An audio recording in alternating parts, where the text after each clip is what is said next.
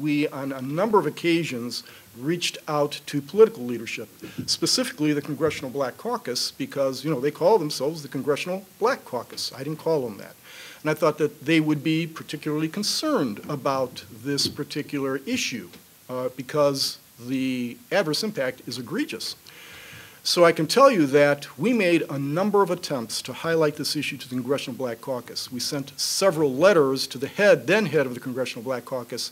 All we heard were crickets. In fact, on one occasion, the head of the Congressional Black Caucus falsely claimed that they had never heard from us uh, until we produced the letters, the multiple letters and contacts that we had with them, and then they had, you know, there was radio silence from them. So there is, um, my concern is that on a, on a political level, there doesn't seem to be a whole lot of energy behind um, this particular issue and trying to address the impact of this particular issue. I think that's an abomination, and I'll leave it at that.